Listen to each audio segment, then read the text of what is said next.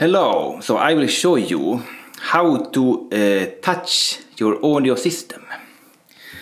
It is by using a screwdriver with uh, a wooden stick taped to it.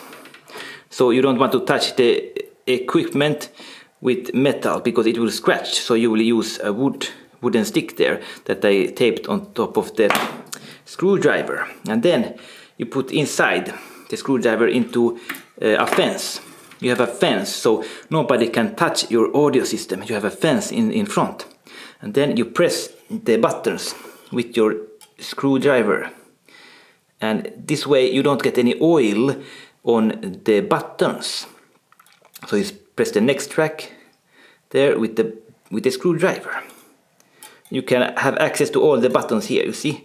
I can angle the screwdriver have access to all the buttons on the DAC. Okay, you see that? Access to all the buttons there. And uh, if, if you touch, I will open this. I have screwed a screw here on the on the TV bench. I don't have a TV. This is my TV stand. I put my phone here when I watch a movie.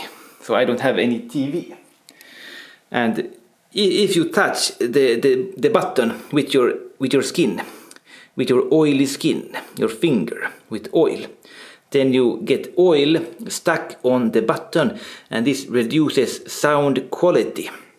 You get worse sound if you have oil on the equipment. So I have tried uh, cables, uh, tweaks with oil and they don't sound good. They sound uh, smooth but also blurry with less detail. Too much oil and it sounds boomy and you don't get good detail. So you want to avoid having oil in your on your equipment, especially on the knobs that you press often and it, uh, uh, eventually you will get a lot of dirt that will accumulate on the buttons and a lot of oil which reduces sound quality and you don't want that. You want the, the system to be free from any human contamination.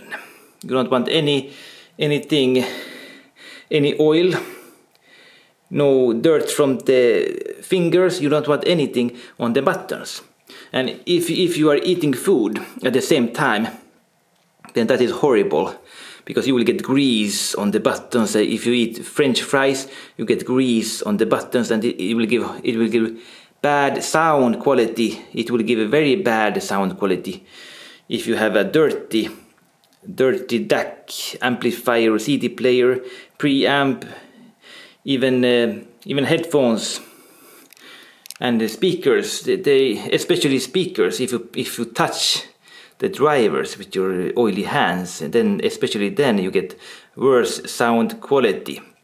So it is very important that you you don't directly touch the equipment the buttons. And even here I have a USB stick that plays music and you need to use a glove. You need to use a glove when you remove it and put it back in. But I just listen to the same music every single day so I don't need to remove the USB stick to put another stick in. Okay? And yeah so this is my system here. I'm using uh, Naim Naim DAC. I'm using Naim DAC. It is too warm but the the tweaks fix fixes that problem especially from the Superstar Ice the new tweak I have. It fixes the problem and Rockwood V6 is absolutely a requirement an absolute requirement to be able to listen to the Naim DAC without this Rockwood V6 I would have sold the Naim DAC a long time ago. But now with these tweaks I'm able I'm able to listen to the Naim DAC I liked the Marantz uh, CD player before and then I switched into Naim deck and I got too warm sound. And I just didn't didn't like that sound but the tweaks fixed the problem. So if you have a if you have a DAC or amplifier if it sounds too warm you want to get the Rockwood V6 tweaks.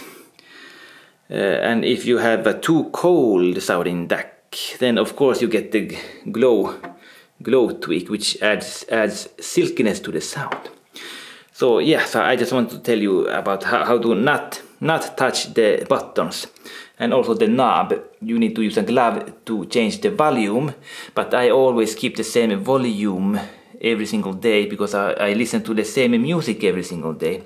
So i don't need to change the volume. Okay? So this is the end of the video. Subscribe to my channel. I will see you next time. Goodbye